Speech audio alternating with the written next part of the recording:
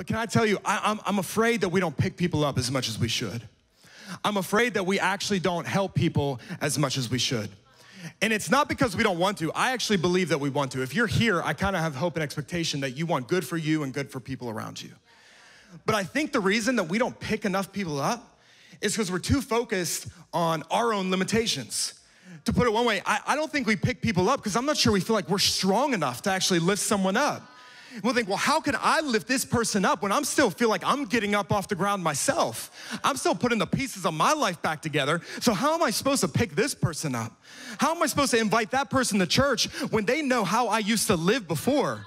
How am I supposed to pray for someone when I'm, my, I find myself doubting my own faith at times? So, do my prayers even work? Why should I even pray for somebody when I'm not sure he even hears me? And we'll allow our own fears and our own anxieties and these own limitations of our own past failures actually hold us back from stepping into the things God wants to do through us.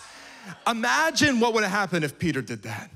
Imagine if Peter rolls up on this guy, this lame man, and he says, Man, someone should really pray for this person, but it can't be me because I'm the guy that just denied Jesus a few weeks ago. And he says, My own failures are actually preventing me from doing the thing that God has called me to do. He's actually, and, and, so we'll allow the thing that we messed up or we did wrong to actually stop us from literally stepping out and fulfilling the purpose of the church, which is to lift someone up. Imagine, and I've heard, I've heard Christians say this all the time.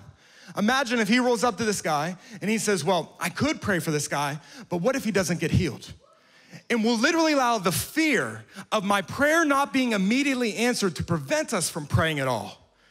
And it's like, well, what's what is actually uh, is that the point? Like, what is actually better that we not pray at all, or we pray anyways and we pray every day and we keep showing up to pray every day, whether it's happened before? I'm going to keep showing up and praying instead of letting our own fears and our own limitations stop us from praying at all. I'm going to keep showing up and believing that my God is good, and He might have not answered it yesterday, but He might, but He might do it today. So I'm just going to pray again.